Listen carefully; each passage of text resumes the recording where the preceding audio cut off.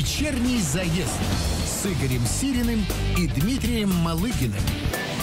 Добрый вечер, дорогие друзья. Вечерний заезд. 8 часов вечера, понедельник. Э, Митя по-прежнему отсутствует. Э, Он уже не загорает на своем собственном острове в Атлантическом океане. Он летит со своего личного острова к нам в Москву и сейчас где-то в самолетике. Э, За пультом, как обычно, Пабло. Ну, Пабло нет своего острова, у него, зато у него есть свой пульт. И поэтому Пабло здесь. Да, Это не мой пульт. Не твой пульт. Не мой пульт. Добрый вечер. Добрый, да. А вместо Мити у нас сегодня Илья Никаноров, э, главный человек из компании Mitsubishi. Категорически приветствую, друзья. Да, и сегодня мы едем на автомобилях Mitsubishi, мы отвечаем на вопросы э, куда, зачем, почему, как чинить, как ломать, сколько стоит. И, и так далее, и так далее. И главный вопрос про самый продаваемый автомобиль, это, конечно же, Outlander. Так, а вопрос? А вам... Ну, Outlander, да. Outlander, да.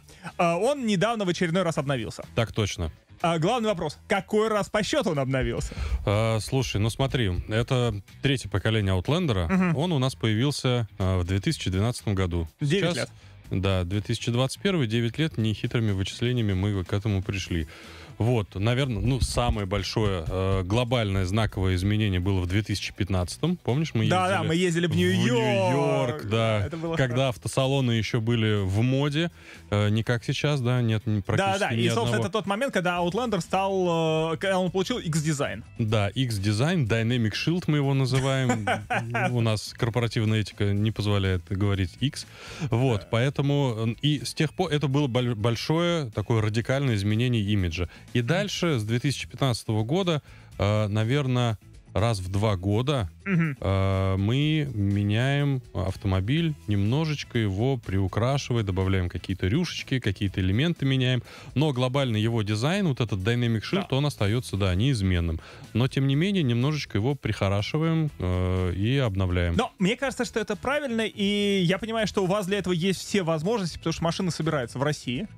Совершенно верно. Калужское производство. И, ну, это, наверное, некий там закон рынка, да. Если мы Мгм. хотим, чтобы автомобиль был интересен, нужно э, следовать в ногу со временем и с пожеланиями наших потребителей. И именно поэтому, прислушиваясь к голосу наших уважаемых, многоуважаемых клиентов, э, практически сейчас мы уже, ну вот, каждый год, да, то есть это третий год, когда в августе у нас происходит смена модельного года, и мы туда постоянно что-то добавляем, добавляем, меняем, делаем его лучше и Да, краше. я недавно прокатился, я вам сейчас об этом расскажу. Если у вас есть какие-то вопросы про автомобили Mitsubishi, может быть, у вас есть пожелание, что еще улучшить в Outlander, предлагайте. WhatsApp, Viber, SMS по номеру 8 909 955 103.0, а можете позвонить в прямой эфир и прям так громогласно на всю страну заявить, чего вам не хватает в Outlander, либо в любом другом автомобиле Mitsubishi. Собственно, Илья у нас для этого именно здесь. Позвонить по телефону 223 55 50, код Москвы 495. Все, все верно, Паша. Да. Спасибо. Я Да. вот как раз думал, на какой телефон звонить. Да, 223 55 50. Я недавно съездил, покатался как раз на обновленном Outlander. А, интересно то, что вы добавили черных рюшечек. А, рюшечек добавили, но это такой практически общий мировой тренд. Все же делают Black Edition и добавляют Да, да. премиальный темный хром. Ну и да, нас э, вот этот тренд э, не обошел стороной. Вот, машина получила решетку радиатора с таким темным хромом, Мгм. а, новый дизайн колесных дисков, тоже с черными прокрашенными элементами. Да, они либо полностью черные, если у вас двухлитровая машина, либо черные с серебристым, если у вас машина 2.4, правильно? Ну, практически так. То есть все восе- машины у нас почти во всех комплектациях э, оснащаются 18, 18 дисками. Мгм. Поэтому э, ну, дизайн поменялся везде. Но у нас есть еще такая серия ограниченная Black Edition. Да. И вот на ней она построена на базе комплектации InStyle с, с двигателем 2.0. И вот на ней как раз-таки, да, там полностью черные э, диски, там черная крыша, черный спойлер, э, черная обшивка на пот- Зеркала под черные. потолка, э, черные рейлинги, черные зеркала. То есть машина, черной черной комнате. машина, машина в белом-белом кузове с черными-черными элементами. Выглядит великолепно. Слушай, выглядит действительно здорово. Я ровно вот на такой машине покатался. Меня поразило то, что черный потолок Outlanderу к лицу. У большинства машин черный потолок — это сразу такое ощущение клаустрофобии. Вот прям... Слушай, ну, мне А тут- кажется, Outlander, он, в принципе, сам по себе настолько просторный внутри, вот, вот, что да. черный потолок здесь не давит, а добавляет каких-то новых эмоций и впечатлений. Выглядит, ну как там, стильно-молодежно, не знаю, но выглядит действительно прилично и дорого-богато. Вот, а еще же у нас, ну, помимо, раз уж мы начали говорить про обновление, там, да, мы избавились в Outlander от э, комплектации с кожаным салоном. Вот, я как раз хотел сказать, самое главное вообще, ради чего все это стоило задумывать, это ради дикой Алькантары. И это стоило того. Мы в прошлом году, год назад, когда у нас было опять обновление Outlander, а, запустили ограниченную серию э, Black Edition, и там была комбинированная отделка. Там была Алькантара плюс э, кожзам по бокам. Мгм. И это вызвало настолько шквал положительных эмоций от дилеров, от наших клиентов, что мы решили, ну, круто, да, если это заходит вот так, а давайте вообще поменяем. То есть, во-первых, эм, такая комбинация салона, она реально преображает интерьер, машина Мгм. выглядит сильно свежее, ну, по-другому. Слушай, ну это правда, это было очень круто. Мы даже, я думаю, сейчас должны прерваться, чтобы немножко снизить накал, и мы обязательно продолжим. Ух. Вечерний заезд на радио Шансон. Добрый вечер, дорогие друзья. Вечерний заезд. Мы продолжаем разбираться с автомобилями Mitsubishi вместе с Ильей Никаноровым. Э, Нам насыпалось уже много вопросов и пожеланий. Если вы еще свои вопросы не досыпали, досыпайте. 8 909 955 1030 WhatsApp, Viber, SMS. Либо можете позвонить в прямой эфир 223 55 50. Пабло, заряжай. Э, Не подписался, э, молодой чемодан пишет, появился или не появился круговой обзор. Появился. Э, Появился, и он был, да. Мне кажется, он несколько лет назад появился. Он появился уже давно, года, наверное, три или четыре даже. Вот И- я не помню, в Нью-Йорке был он или нет, но, в общем, он есть. Э, Он есть. Дисплейчик дюймов 8, наверное. Э, Да, сейчас вот как раз-таки с этим обновлением, комплектацией InStyle, Ultimate, Intense Plus, они идут с 8-дюймовым дисплеем. Ну, то есть это уже, большим. скажем, со средних комплектаций начиная, уже Да. 8 дюймов. Да, да, Э, и, собственно, если у вас машина чистая и камеры чистые, то вполне есть круговой обзор, да? Ну, тут, да, уже зависит от того, насколько вы готовы скрупулезно проходить перед посадкой в автомобиль и протирать камеры. Да, погода, ну, не всегда нас радует. Подожди, а мне показалось, там сзади омыватель? Не было. Показалось. Показалось, да. Э, хорошо, еще вопрос? Э, Тут, э, значит, спрашивают, салон без кожи, ужас, э, и интересуется логикой людей, которые берет э, салон без кожи, зачем, это зачем платить, когда можно чехлы купить коренные, и требуют вернуть классический Pajero 4 или требуют выпустить пятый. Слушайте, ну, давайте, за, за кожу я отвечу. Я вот только что был в Уфе, катался на обновленном Аутлендере с Алькантарой. Привет, Башкирия. Да, да. 38-40 градусов тепла. Вот 41 я видел э, на солнышке. э, И я вам скажу, что вот если вы там вышли на улицу, причем такая дымка, прям жаркая, жаркая погода, такой степной климат, и э, вот ты садишься весь, естественно, ну, ну, ну разгоряченный, не говоря, что потный, да, я имею в виду на улице. Садишься в автомобиль и думаешь, если, не дай бог, тут будет кожа. Ну ты просто, ты, во-первых, получишь ожог, Особенно если там, не знаю, в шортах, например, да, э, вот ну, кожаные сиденья не раскаляются. Алькантаровые тоже нагреваются, но на самом деле не так сильно. Плюс э, они дышат.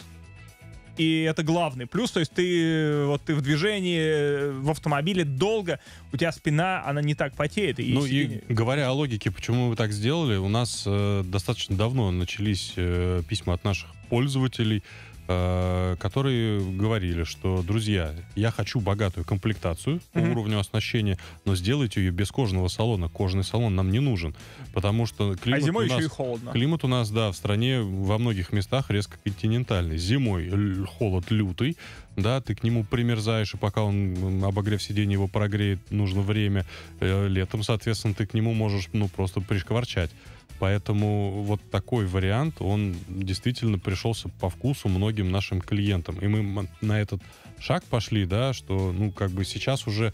Это раньше был такой стереотип, что если кожа, то тогда это дорого-богато. Да. А сейчас уже люди все-таки идут к какой-то м, Слушайте, но это удобно. э, И при этом кажется, э, как и тряпичный салон, также и Алькантара, многим кажется, что он испачкается, дети его перепачкают и так далее. Но она прекрасно же чистится. Она чистится вообще без проблем. Ну, ладно, там, если вы не хотите химчистку, да, есть огромное количество средств, которые там пятна выводят, если что. То Ну и то, но он в любом случае он салон темный, там особо пятен не остается. И э, задняя поверхность сиденья, она все-таки обшита, как и раньше, кожзамом. То есть ребенок, который сидит на заднем сиденье и ножками вас пинает в спину и пачкает Да, заднюю. он пачкает не алькантару, он пачкает кожзам, Да. который влажной тряпочкой Да, да. протирается, чистота, Вот. уют. А телом, спиной вы соприкасаетесь и ногами. Вы соприкасаетесь с Алькантарой дикой, безумной и То очень приятной мы практически подвели к тому, что это мы заботимся еще и о здоровье, чтобы зимой не заболеть и летом, собственно, тоже не заболеть. Да. А, а вот теперь про Паджеро. Давай. Друзья, ну про Паджеро Подожди, пока... наверное, сейчас музычка, Да, сейчас Давай. немножко давайте э, потанцуем. да, а потом, А потом- за Паджеро. да. Игорь, мы, мы тоже танцуем? Обязательно. Понял. Погнали. Вечерний заезд. Добрый вечер, дорогие друзья. Вечерний заезд. И мы продолжаем вместе с Ильей Никаноровым э, разбираться в автомобиле Mitsubishi. И в частности был вопрос, где Паджеро? Был третий, был четвертый. Где Ну, пятый? э, Паджеро пятого пока мы не ждем, к сожалению, но с другой стороны, э, Mitsubishi официально эту дверку еще не захлопнула. Мгм. Мы очень надеемся, что рано или поздно, надеюсь, что рано, э, компания придет к тому, что объявит, друзья, мы вот долго думали, долго запрягали, и вот выкатываем вам вот такой вот подарок. Но пока такого нету, у нас остается Pajero Sport, который, ну, по-прежнему один из Ну, последних кстати, он недавно же обновился. Абсолютно верно. Один из последних настоящих, настоящих вот прям без дураков внедорожников. Рама, дизель, суперселект. Суперселект. Да, это, вот, же ну, прелесть. что, что же еще нужно? Э, на самом деле, я вот тут недавно ездил на других внедорожниках, я как раз сломал голову.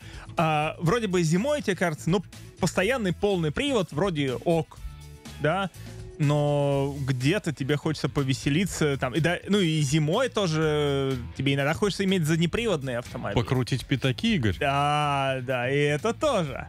И, собственно, ну, круто, что у вас он есть, и, по сути же, больше ни у кого нет.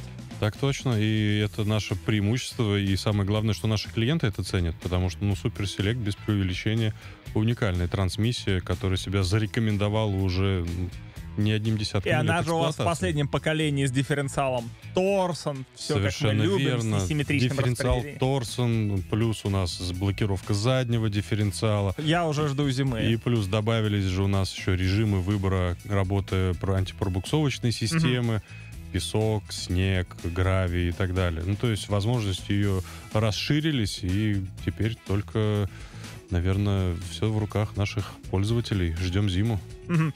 Ну и все-таки ждем новый Паджеро. Настоящий. Окей, Паджеро, мы, мы его, мы, его всег- вопросов мы- нет. мы его всегда Ну, ждем, отлично.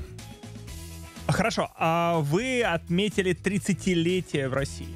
Мы не то чтобы его отметили, мы его продолжаем Вы отмечать. его отмечаете. Да, в августе этого года мы перешагнули, так сказать, рубеж 30-летия, отметили и от- отмечаем как большой грандиозный юбилей официального бизнеса бренда Mitsubishi в России. Ну, я вас поздравляю. Во-первых, Спасибо.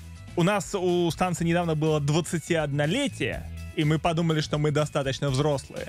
Но Ну вот теперь я ты понимаю... Понимаешь, да, где на- настоящие-то парни тусуются. Подожди, 30 в лет? августе 91 года.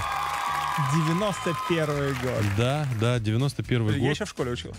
Ну вот, за эти 30 лет много чего успели добиться, продолжаем двигаться дальше. Я знаю, что вы продали больше миллиона машин. Миллион автомобилей мы разменяли в декабре прошлого года. И да, ну, без преувеличения, сумма серьезная, круглая. Э, Миллионный автомобиль, кстати, был Outlander. Вот Ну, очевидно, самый продаваемый. Его и выдавали, да. Поэтому много чего было сделано, много еще что предстоит сделать.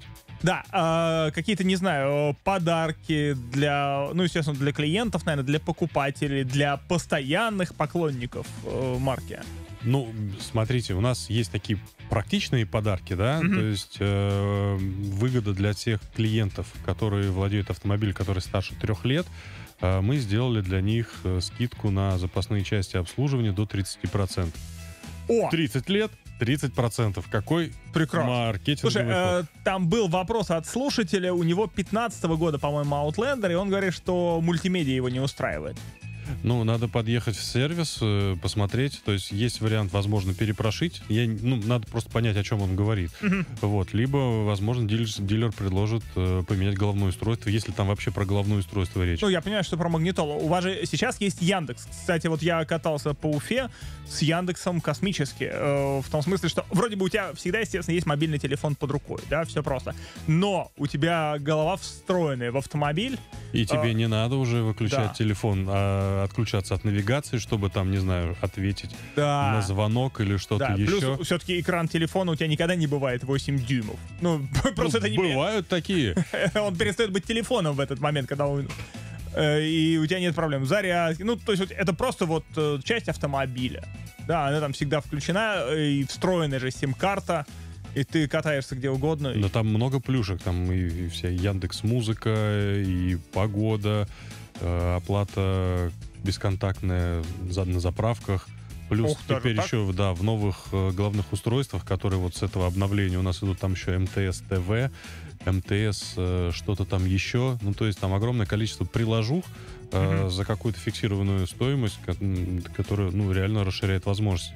Плюс как раз-таки на этих новых главных устройствах еще э, с USB можно подключать и смотреть э, видео. А, можно Но кино на, на паркинге, да. на паркинге. Ну, мало ли кто-то стоит на паркинге, и ему скучно, нечего делать. Вот есть такая возможность. А, И, кстати, я обратил внимание, что эта навигация, она не просто это вот э, головное устройство, которое воткнули в машину, да, а, оно же отправляет э, сообщение на панель приборов и на, на вот то, что перед глазами у водителя между спидометром и тахометром на дисплейчике навигации показывает там через 300 метров налево, через 500 Но это метров как раз направо. вот плюс э, российского завода и коллаборации между компанией Яндекс и нашими разработчиками, да, когда мы не просто купили головное устройство и его поставили, да, Мгм. так каждый может, но мы подружили э, автомобили и системы э, автомобиля и непосредственно с этим головным А ты говоришь, устройством. музыка там тоже есть, да? Конечно. Обязательно, мы ее сейчас послушаем. Вечерний заезд на радио Шансон. Добрый вечер, дорогие друзья. Вечерний заезд. Мы продолжаем разбираться в автомобиле Mitsubishi. Вы задаете вопросы по номеру 8 909 955 1030. Там насыпалось еще немножко. Мы обязательно к ним вернемся и обязательно на них ответим. Э, Ты говорил, у тебя есть еще какие-то подарки к 30-летнему юбилею присутствия Mitsubishi в России. Ну, не то, что у меня, но наш бренд, да, делает всякие разные приятные Ну, да- приятности. давай, давай. А, Мы начали про то, что выгода на обслуживание до 30% для тех клиентов, Мгм. которые владеют Которым за 30. автомобилем, да, которым, которым за 30 и автомобилю, И которым за главное, 3, да. 3 плюс. Вот, так э, у нас есть же еще наш любимый банк, который дает великолепную ставку 3-0, опять же, да? А, 30 3:0. лет 3-0. Вот. И Это прекрасно, что он не дает ставку 30% годовых. э, были такие мысли, но отказались вовремя и остановились три- Спасибо. 3.0. Но это только для именно владельцев Mitsubishi. Если ты ездишь на Mitsubishi и решил за новым. пересесть на Mitsubishi, у тебя в кармане ставка 3.0. Ух ты, круто, вот это прям... Вот это прям действительно круто, хорошая Учитывая, ставка. что сейчас обещают ставки до 10, а по факту они все за 10%. Ну, получается так, если ты хочешь поменять автомобиль, вот тебе супер предложение. Если ты не хочешь менять свой Мицу, продолжать ездить дальше, вот тебе предложение, чтобы его дальше обслуживать, чтобы он тебе никогда больше не То есть, подводил. если ты уже э, в семье Митсу, то ты молодец. Да, Если да. нет, то то извини, ну, старик. никто не совершенен, конечно. Да, а, вот тут вопрос еще был про новый Лансер. А, Я помню, ну это какой, там год седьмой, восьмой, когда Лансер же был прям лицом э, молодежи, хипстеров, э, дикие очереди, это все. А потом как-то как-то свернулся Лансер. Ну, свернулся, если уж, да, так будем сейчас экс- э, исторический экскурс проводить. Э, Был период, когда мы продавали по 60 тысяч лансеров в год. Мгм. Э, Ну, даже по нынешним временам... То сейчас я понимаю, что вы всего, наверное, 1060 продаете в год, да? Да, сейчас времена такие. Ну, сейчас как бы сложно говорить, да, потому что прошлый год, что этот, мы натурально очень сильно ограничены э, тем объемом производства, Да, кстати, об этом мы можем производить. То есть такие заложники ситуации. То есть мы не можем показывать те объемы, на которые способны. Но, тем не менее, возвращаясь к Лансеру, да, Лансер в свое время действительно был автомобилем-пушкой, который разрывал, э, пользовался сумасшедшим спросом, но так получилось, что в тот момент глобальная компания Mitsubishi э, переживала не самые лучшие времена, э, не в России, а вот Да. именно в мировом масштабе. И они очень затянули с обновлением, да, когда в, в это же время наши основные конкуренты представляли уже новые поколения, мы здесь пробуксовали. И в какой-то момент мы поняли, что ну, поддерживать, продавать лансер, когда твои конкуренты уже сменили одно, кто-то даже два поколения, а ты все со старым кузовом, красивым, да, стильным, крутым, но он уже утрачивает свою актуальность. Мы решили от него отказаться вообще. Подожди, И- а в мире сейчас лансер есть? Я не знаю. И вот так получилось, что со временем и Mitsubishi от него отказался. То есть нового поколения Лансера так и не появилось. И если я не ошибаюсь, то и сейчас его уже нигде не осталось. Слушай, но Возможно, где-то есть какие-то С другой страны. стороны, надо сказать, что весь вот этот э, C-сегмент, э, некогда дико популярный, Mazda 3, Ford Focus, э, что, Honda Civic, Но весь C-сегмент, он фактически умер, и Да. он был поглощен сегментом B, B+, и кроссоверами. и кроссоверами, да. И мы как бы, ну, не то чтобы мы прям такие э, предсказатели, да, но отказавшись от Лансера и взяв курс на... Вы убили ра- сегмент. Ну, я бы так не был бы столь категоричен, Игорь, но тем не менее, мы взяли курс на э, кроссоверы и внедорожники, Мгм. решили сфокусироваться на том, где мы сейчас действительно сильны, где происходит регулярное обновление, запускаются новые модели, и сфокусировались на этом. Хорошо это или плохо, получилось так, что ну, весь, Ну, весь- весь рынок пошел вот именно в эту сторону. И самое главное, со временем и Mitsubishi пошло в эту сторону, потому что они отказались от практически всех, всей Мгм. пассажирской линейки. Э, остались только ну, внедорожники, кроссоверы, где-то есть еще там маленькие... И совсем микролитражки, Мир, Мира-шатраж, да. Ну и там кейкары для японского рынка. Да, общем, а, да. был еще вопрос, есть ли в Outlander подогрев задних сидений. Я знаю, что нет, но я надеюсь, что у тебя есть какой-нибудь более И, длинный... и вентиляция передних, спрашивают. А, подогрева задних сидений, к сожалению, нет. Э, Эта опция у нас есть в Pajero Sport, эта опция у нас есть в Эклипсе? Eclipse, да, Cross. Если уж кого- коверкать слова. А правильно в Pajero Sport или в Pajero Sport? В автомобиле Pajero Sport. Спасибо, Игорь. А, Вот. И что И касается в кроссовере вентиляции... Mitsubishi Eclipse Cross. Да. Э, Там есть. Что касается вентиляции сидений, то э, этой опции у нас пока нет ни в одном автомобиле. Появится? Ну, рано или поздно, конечно. Да, и смотри, э, главный вопрос, то, с чего на самом деле я хотел начать, когда мы приглашали тебя в студию, в целом поговорить про авторынок, потому что э, мы регулярно получаем комментарии на радио, в Ютьюбе, еще где-то. А почему э, тотальный дефицит автомобилей, и он продолжается уже год? Неужели нельзя было за год э, как-то вот э, наверстать, собраться и, ну, говоря по-русски, наклепать достаточное количество автомобилей, чтобы люди за ними не давились в салоне? А прежде чем ты начнешь отвечать, мы дадим тебе время, чтобы ты подготовился. Подумал. Да, да. Спасибо. Пабло, заряжай. Вечерний заезд на радио Шансон. Добрый вечер, дорогие друзья. Вечерний заезд. Мы продолжаем движение на автомобилях Mitsubishi. И главный вопрос, э, который мы анонсировали буквально перед песней. Э, Почему? Вот год уже продолжается дичайший дефицит автомобилей. Вы не исключение. Да сейчас, наверное, вот ну, нет автомобилей, которые были бы в достатке на рынке. Любого производства, любой национальности, и у всех э, дикие проблемы. Ну да, совершенно верно. И самое, наверное, прискорбное, никто не может точно сказать, когда дефицит закончится. это будет продолжаться. А, ну, до конца этого календарного года как минимум ситуация будет оставаться реально тяжелой у большинства. То есть, ну, с дефицитом сейчас сталкиваются все там в большей или меньшей степени. Я регулярно читаю новости о том, как э, останавливаются заводы. Вот сейчас при тотальном дефиците автомобилей регулярно останавливаются заводы в России, в Америке, везде по миру. Но там комплекс причин, то есть нет какой-то одной, да, ну, вернее, одну можно назвать, из-за чего все началось. Это ковид.